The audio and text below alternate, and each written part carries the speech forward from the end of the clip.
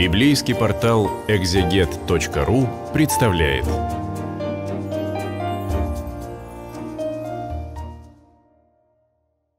Здравствуйте.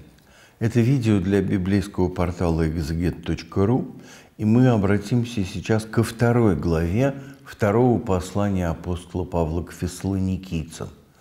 Как мы уже говорили, второе послание а, с точки зрения авторства, даты, эпохи написания э, представляет собой для исследователей достаточно большую трудность. Ну вот во второй главе апостол Павел переходит, собственно, к э, тем темам, или, может быть, к одной теме, которая, по-видимому, и послужила причиной написания этого текста.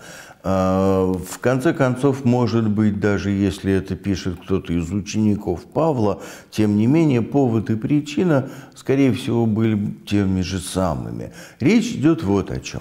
Вот э, некая христианская община середины первого столетия, ну, вероятнее всего, община в Фессалониках, которой формально направлено это послание. Хотя, может быть, далеко не только эта христианская община, довольно небольшая группа из там где-нибудь двух, максимум трех десятков э, человек.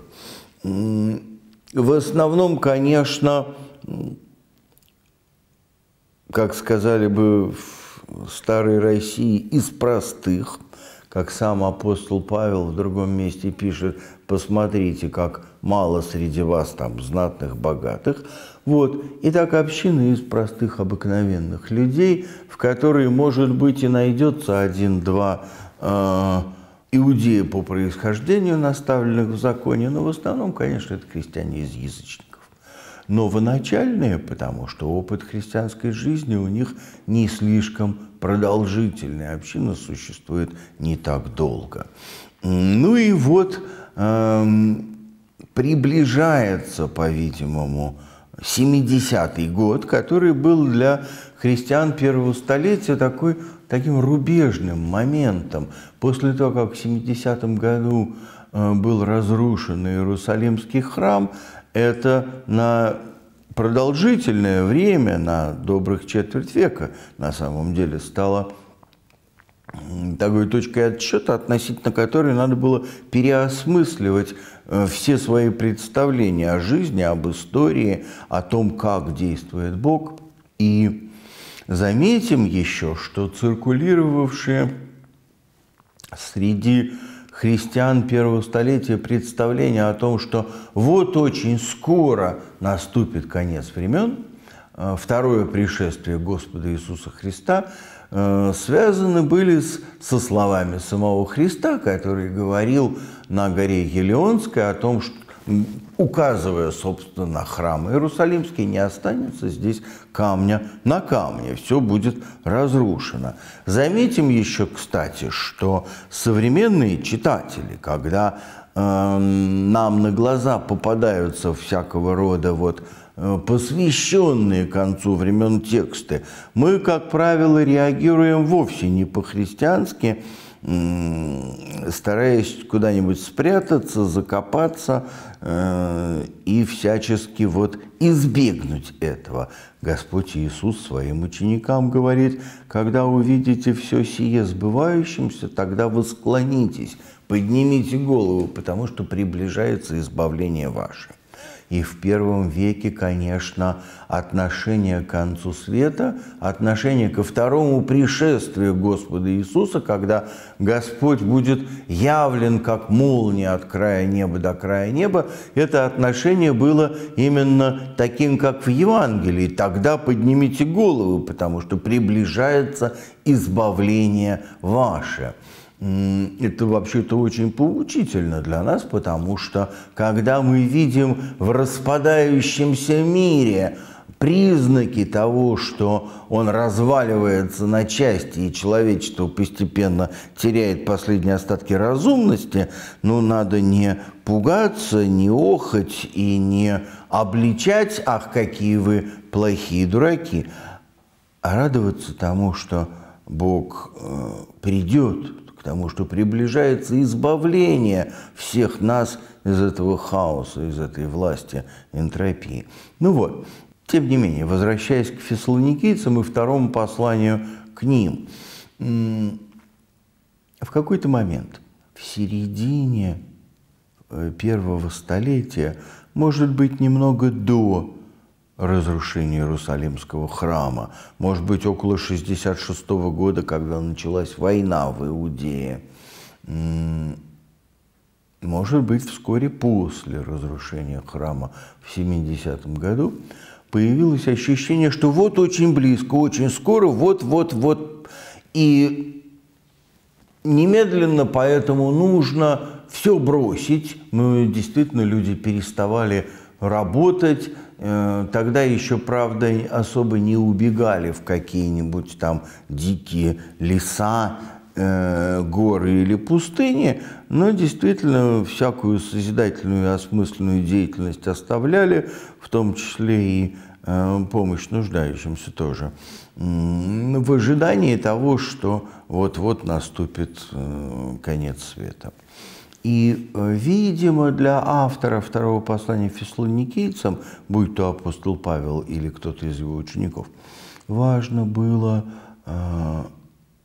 ну, в общем, противопоставить свою позицию этой такой алармистской, я бы сказал, идеологии. Важно было сказать о том, что ну, не все так примитивно, и не надо, и жизнь не останавливается – Э, обратить внимание на то, что заканчивая первое послание к фессалоникийцам, которое, конечно, принадлежит э, перву апостола Павла, апостол говорит о том, что тот день, день Господень, придет как тать в ночи, неожиданно, неожиданно. Даже в Евангелии Господь, в общем, говорит о том, что как же так, вы распознаете знамения времен года, а приближение Дня Господнего распознать не в состоянии. Ну вот не в состоянии. Значит, э, нет, как кажется, никаких особенных а, признаков. Неожиданно, как тать ночью, придет этот день. Наоборот тому, те, кто были не согласны с этой позицией апостола, полагали, что вот признаки, и вот признаки э, того, что приближается конец времен. Вот тут сейчас э, без э, чего-нибудь не разрешат ни покупать, ни продавать, вот поставят всем э, печать на лоб или что-нибудь еще. Ну, короче говоря, каждая эпоха и каждое поколение э, такие признаки себе находит сама. Ну и вот э, апостол говорит, о пришествии Господа Иисуса Христа, просим вас, братья, не спешить колебаться умом и смущаться, что бы вам кто ни говорил, ни от духа, ни от слова, ни от послания, как бы нами посланного. То есть, по-видимому, э, до фессалоникийцев доходил некий слух – что вот, а вот Павел там где-то, в этот момент Павел, по-видимому, уже сидел в тюрьме в Риме, вот он там учит о конце времен вот тому-то.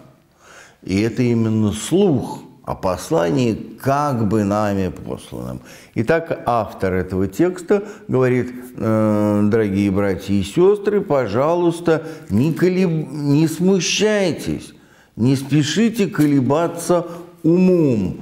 И на самом деле это очень важная такая вещь. Ну, задумайтесь, задумайтесь. Он же начинает это письмо с того, что благодарит их за то, что они хранят веру и э, терпят в любви. Говорит, ну вот держитесь за это, не спешите колебаться умом. А то вам говорят, что вот уже наступает день Христов. Ну и, в общем, несколько перпендикулярно первому посланию фессалоникийцам. Автор здесь говорит, день тут не придет, пока не произойдут некоторые события, пока не будет вот нечто. Прежде отступления, Причем тут не очень понятно, о чем от, отступлении идет речь. Ну, христиане-то традиционно используют эти слова как указание на то, что будет там какое-то отступление э, людей от веры и церкви, и используют поэтому эти слова как дубину, э, что, дескать, если вы с нами не согласны, то вот это у вас случилось отступление, и это признак конца времен не очевидно, что апостол имеет в виду именно это. Вот прямо скажем, нет. Возможно, что он имеет в виду языческое сопротивление и иудейское сопротивление вере. Вот. И далее тоже очень спорные слова о том, что э, откроется человек греха, сын погибели, э, противящийся и превозносящийся выше всего. Одним словом, речь идет э, о том, кого позднейшие христиане э, обычно называют антихристом. Да, ну и, в общем, я бы сказал, в контексте первого столетия наиболее вероятные кандидаты на прообраз э, того, о ком апостол здесь говорит, это император Нерон – мягко говоря, не самый приятный персонаж в истории, и э, несколько более сложный, но тоже не вот прямо блестящий персонаж император Домициан. И тот, и другой настаивали на своей божественности, причем не исключено, что Нерон в нее всерьез верил, что, конечно, является признаком отсутствие психического здоровья. Ну вот, а Домициан, вне зависимости от того, во что он там верил или не верил, он действительно подписывал документы, писал «Господин и Бог Вселенной», требовал, чтобы к нему так относились. Одним словом, это время, когда тот же самый, в каком-то смысле извечный враг, империя – имперское государство, обожествляющее себя и в этом своем обожествлении доходящее до крайней степени безумия. Эм, вот как и в апокалипсисе, так и здесь речь идет о людях, которые обожествляют самих себя, пытаются занять место Бога и выстроить некую некое подобие жизни, замкнутый мир, в котором Богу места не будет. И это место, надлежащее Богу, будет занято людьми. На самом деле, понимаете, вот э, император Домициан, господин и Бог Вселенной, по сути, э, не отличается от э, аналогичного совершенно лозунга «Слава великому советскому народу, строителю коммунизма». Раз, ну, разница невелика, суть одна и та же. Бога нет, а вот теперь вот это. Либо отдельный человек, либо группа, э, шайка э, людей, хунта э, людей являются тем, кто правит миром, кто определяет добро и зло, ну и, соответственно, заставляет всех окружающих поклоняться себе и не поклоняться Богу. Идея таким образом именно э, вот этого противления, идея того, что мы называем вслед за этим текстом апостола Антихристом, обожествление себя и требование поклонения себе, как мы это видим, кстати говоря, у апокалиптических зверей еще в книге пророка Даниила, и э, увидим также в апокалипсисе Иоанна Богослова. Вот. По-видимому, об этом уже шла речь у апостола э, в Фессалониках – не, может быть, и не только в Фессалониках, поэтому пишет, ну, разве вы не помните, я же вам говорил об этом, говорил о том, что вот это вот э, стремление внешней силой, причем силой земной, организовать э, религиозную жизнь, скажем так, условно, заставить всех чтить э, государственных божеств и сделать религию частью государства. Ну, даже не религию, религия, может, и является ее частью. Веру, веру, отношения с Богом, христианство в собственном смысле слова, сделать частью государственной жизни, государственной машины, государственного поклонения. Вот это и есть отступление, вот это и есть антихрист, когда э, эта антихристова сила пытается, как строители Вавилонской башни, путем насилия, а не любви, лозунгов, а не тихого голоса истины заставить всех поклоняться тем э, или тому, кому надо, вот этой самой антихристовой силе. Вот эта картина. Вот э, автор первого, второго послания к фессалоникийцам говорит о том, что но ведь еще вроде бы этого нету, должны же быть знамения. Э, вот. Должны быть вот такие знаки. И этот самый самообожествляющийся антихрист во главе государственной религии и самого государства, и Эм, другие признаки, все это должно произойти, потому что будет такое обострение, если так можно выразиться, эм, противостояние между верой и неверием, между верой и язычеством. Скорее даже эта мысль близка э, к апокалипсису Иоанна Богослова, а не к первому посланию фессалоникийцам.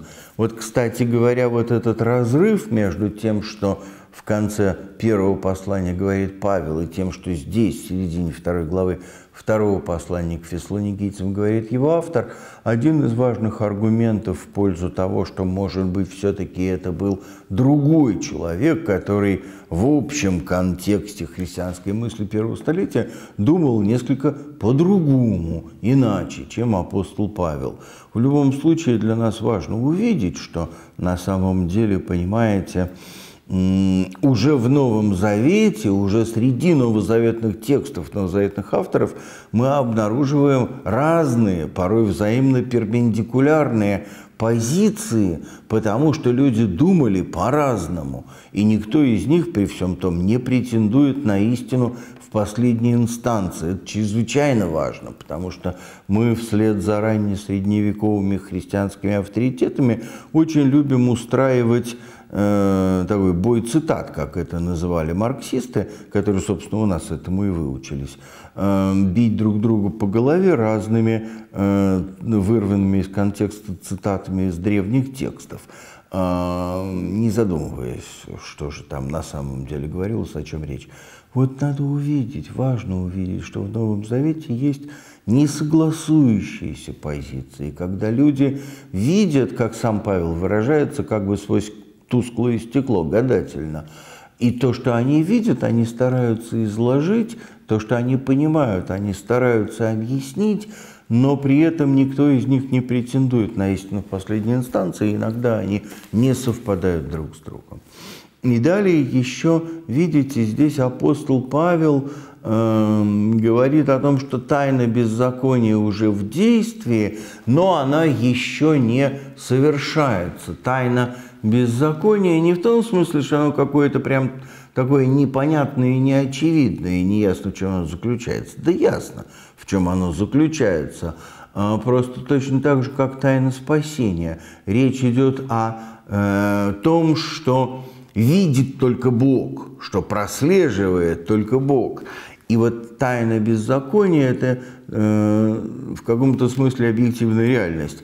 Э, в, с которой людям приходится сталкиваться, точно так же, как и э, тайна любви Божьей.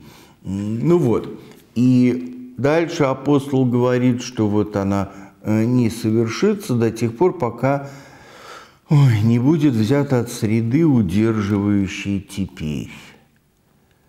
И вот, знаете, я думаю, что если бы апостол Павел знал бы, что мы сделаем с этой фразой, он бы ее ни, ни секунды не колеблясь вычеркнул бы, потому что она оказалась очень для нас трудной, очень трудной, а, причем с самого начала. В греческом тексте, вообще говоря, не очень понятно, э, то есть даже совсем непонятно, идет ли речь о некоем персонаже, одушевленном человеке, как принято было с самой глубокой древности понимать, что вот некто удерживающий, во многих переводах пишут это слово с большой буквы, что как будто это там, так сказать, занимаемая им должность, временно исполняющая обязанности там, удерживающего. А, да, русским царям тоже иногда приписывали подобного рода вещи. Но, может быть, Павел – а, весьма вероятно, не менее вероятно, имеет в виду э, вовсе не личность, не лицо, не человека, а некоторую силу, то, что противостоит вот этому самообожествлению империи, э, самообожествлению насилия, э, такой вот тоталитарной власти во всех сферах и э, торжеству насилия в человеческих взаимоотношениях. То есть речь может быть идти, может быть идет не о том, что есть некий человек, как сказать, из-за наличия которого э, зло еще не победило этот мир. Ну, то есть, на самом деле, конечно, такой человек есть, и это Господь Иисус Христос. И Он один, и больше никто.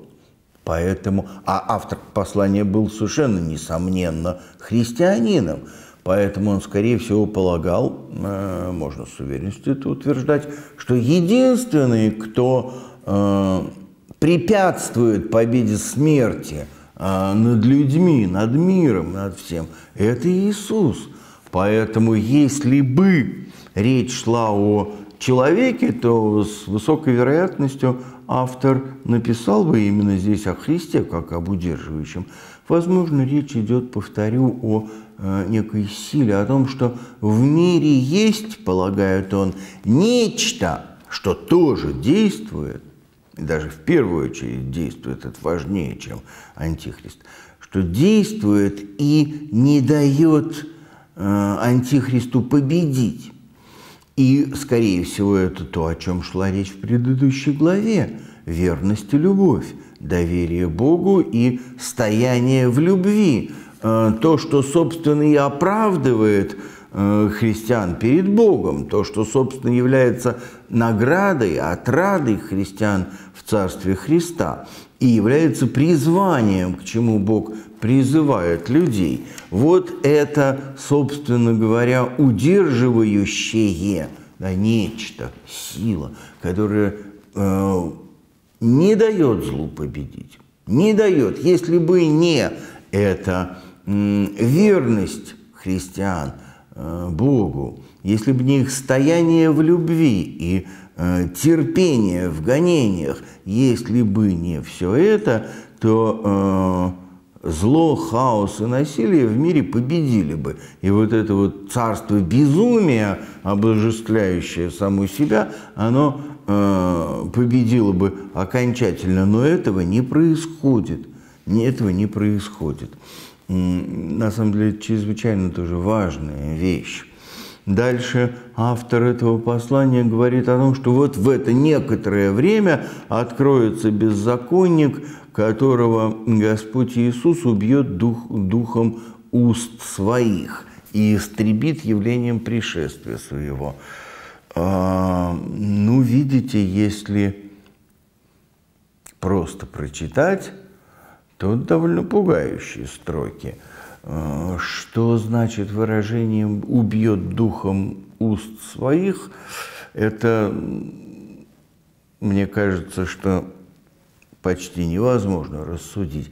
На самом деле, конечно, в оригинале-то у Павла стоит э, «убьет дыханием, своим дыханием». Речь идет о том, что вот этот беззаконник, антихрист, на котором так часто сосредотачивается внимание христиан, что мы в нем находим интересного, стоит ли он того, чтобы так много об этом думать, большой вопрос. А апостол Павел здесь пишет, что ну откроется этот беззаконник, но дыхание Христа, то, что жизнь Христова происходит в церкви, то, что его тело и кровь совершаются, то, что действительно Дух Христов действует в сердцах людей, вот это истребляет, уничтожает этого беззаконника. Э, и это и есть то пришествие Христова, дыхание Христова, э, которое победит, истребит это вот этого беззаконника, который приспешник сатаны со знамениями и ложными чудесами. Э, вот. И дальше мысль апостола продолжается. Он говорит о том, что это все ложные чудеса, что на самом деле принципиально приняли или не приняли любовь как путь спасения, любовь друг к другу. И если да, то это значит, что Христос в вас дышит, когда вы любите друг друга, когда вы доверяете Христу в этом. А, и все, и это убивает Антихриста. И это убивает беззаконника, и это освобождает от вот этого кошмара насилия физического и духовного. А если, соответственно, не идти этим путем любви, не принимать э, любви для своего спасения, ну да, тогда ты будешь принадлежать этому антихристу. В этом выбор. В этом выбор. И для христиан важно очень увидеть, что выбор-то за нами. Антихрист – это не объективное, э, как это называется, обстоятельство, с которым можно только смириться. Нет – подчиняться ему или нет, это значит, чем мы дышим. Дух, дыханием Иисуса Христа или нет.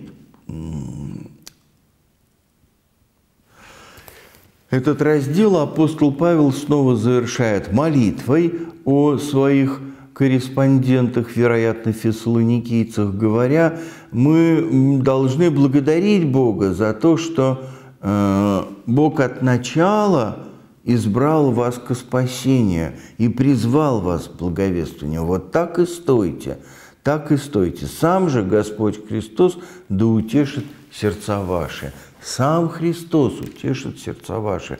Апостол говорит о том, что ну вам дан Христос, вы любите друг друга, вы верите, значит, э, вы услышали наше благовествование, и Христос с вами. Вот, собственно, это и есть утешение вечное. И Он утешит сердца э, ваши во всяком слове и деле благом.